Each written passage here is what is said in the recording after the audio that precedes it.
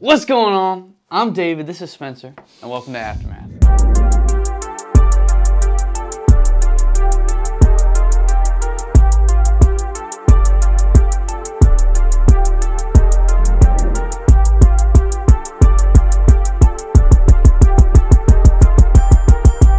Welcome back to Aftermath, the sportscast where we cover the 912 area. We are going into playoffs, baby. Yep. So it's been a long, long season so far. Some people made it, some people did not. But today we're going to go over everyone that's made it, who's in, what the first round's looking like. But we're also going to hit on Effingham Brunswick game real quick because we did miss our Tuesday episode. Uh, I was in Cincinnati, lost my voice, so we bumped it back today. But that's all right. Before we jump into things, make sure y'all like, comment, subscribe, hit the bell icon.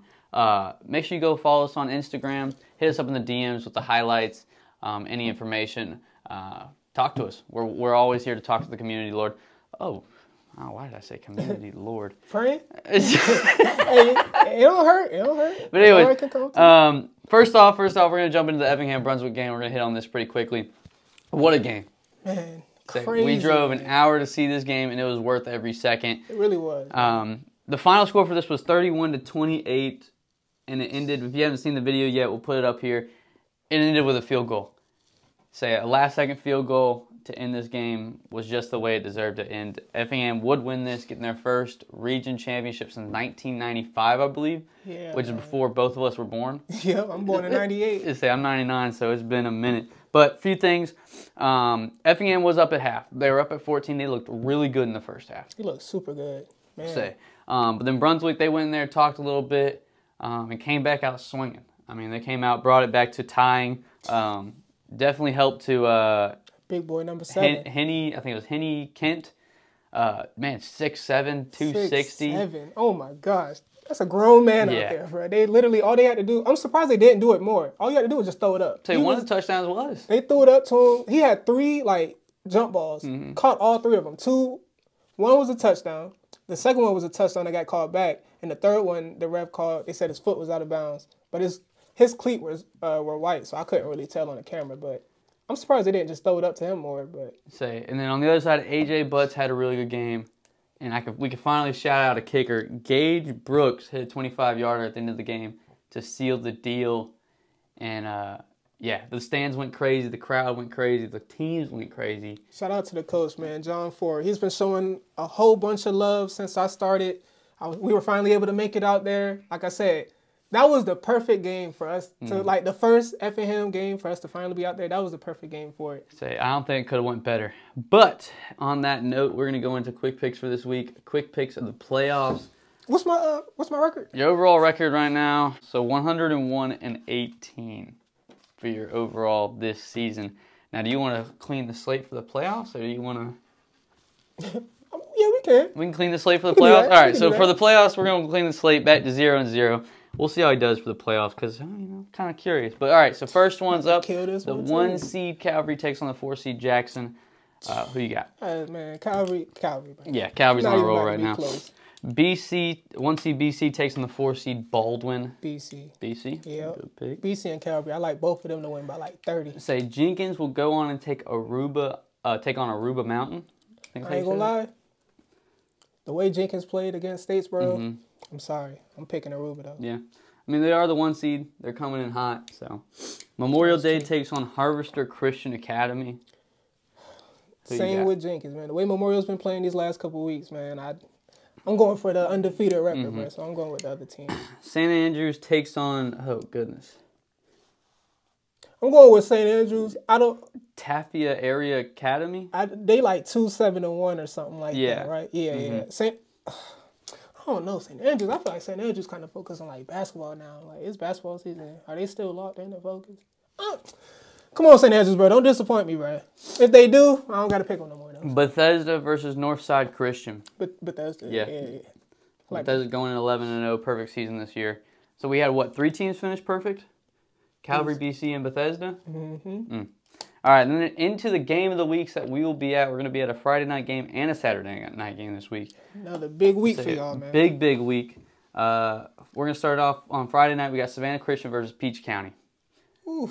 So this is gonna be a good one. I'm excited to see Savannah Christian again, man. I haven't seen them or Calvary since since they played each Yeah. Mm-hmm. other, and that was like back in September. So I'm excited to get back on the Savannah Christian sideline, see them, feel their energy.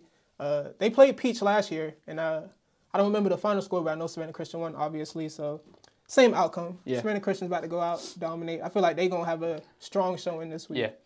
And then on Saturday, the New Hampstead would take on West Side, which Yeah. you were This the telling me. Yeah, you were telling me this is going to be a good one. It's the big game because West Westside's a good team. They play in a really good region too. They're what seven and two, and they're the third seed. eight and two in the third. Oh, they're seed. eight and two. Yeah, eight and two in the third seed, and then you got New Hampstead. Man, New Hampstead just has to play a clean game. Yep. That's all they got to do. They Just can't play shoot a clean themselves in the game. foot. Don't turn the ball over. Make uh, make your kicks. You got they got to tackle because the quarterback over there at West Side. I don't know if he's a true running back or if he's just a legit uh, like dual threat quarterback. But I want to say he has over a thousand yards rushing and passing, so he's gonna be a problem out there. Yeah. So it's really gonna be up to their defense. Gotta keep your eyes on him. Cannot lose him. Gotta contain him. Wrap up. Can't do what y'all did against Calvary and miss all them tackles on the outside. I can't. I haven't watched the film on him, but if he has over a thousand yards, I imagine they run some kind of Oh, it's a lot of RPOs. triple option. Yeah, Okay. Um, which I mean that comes down to film. You got to watch film. You got to gotta learn how to. Yep. that's all. Um, they gotta be disciplined. But at And, the same time, I put New Hampstead's offense. They can score. for They sure. can score the ball. So I don't even think that they have to stop West Side every. Well, so I say they gotta stop them because even though New Hampstead can score, Mm-hmm. what was that? Burke County was the only that I've been on their uh, games that I've been to this year. That was the only clean game I've seen. Them. Yeah. New Hampstead or BC and Wayne County, those are winnable games, but they turned the ball over Yep. too much and they missed too many kicks. You cannot have penalties. Nope. Like I said, if they play a clean game though, I definitely like New Hampstead Yeah. to put it up because their offense is like pff, I mean, strong. yeah. Like you can't you can't guard all three of their receivers. Nope. There's not a defense that's going to be able to lock them down. So it's going to be New Hampstead beating themselves on offense. So as long as they just like I said, play clean, stay disciplined on both sides, both on all three be- phases, because special teams is a big factor. You can't be out there scoring touchdowns or miss extra points. Because them extra points, you saw what happened in the Yeah. BC game. Them things came back to haunt them. Say even and then even after the Effingham Brunswick game, you can see how impactful special teams can be Exactly. Exactly. Um, All you got to do is just get into a good field goal range and just let your kicker go out there, win the game for you. But So- that, that's going to be the that might not might that is going to be the best game of round one. Yeah. Yeah. I, sure. like I said, we think the Calvary BC games are going to be pretty. We think Yeah, those are going to be pretty dog walks. I mean, Savannah Christian, I like them to win by like, a dominant like twenty one points too. To be honest with you, I, I definitely think Like, the don't- Hampstead West Side is going to be the hard one. yeah, that's going to be a nail biter. But we did. Spencer posted this on his story a couple couple of days ago. Mm-hmm. There is a chance that we get a Calvary versus BC state championship. Oh no no no yeah yeah. yeah. Would it be the state? Oh no no no. Would it be? BC versus Hamp and then Calvary versus Savannah Christian? Yeah. So yep. Yep. Yeah, yep, yeah. yep. So it's, we have a chance to get Calvary versus Savannah Christian state championship, as well as BC versus New Hampstead state championship. state championship. Which, All four if teams handle business. if all four teams handle business, we no doubt will be there. Hey, no cap. This just hit me, bruh. We didn't talk about Savannah Country Day. We did not. They're in the playoffs too. They're the third seed. That's on us. I don't know how we missed them. Who they playing? Let me find out. Say, we'll It- that just right hit now. me. Like I was just like, wait a minute, we're missing somebody. All right, let me see. That's on. Did I miss them? All right, Savannah Country Day, seven and three.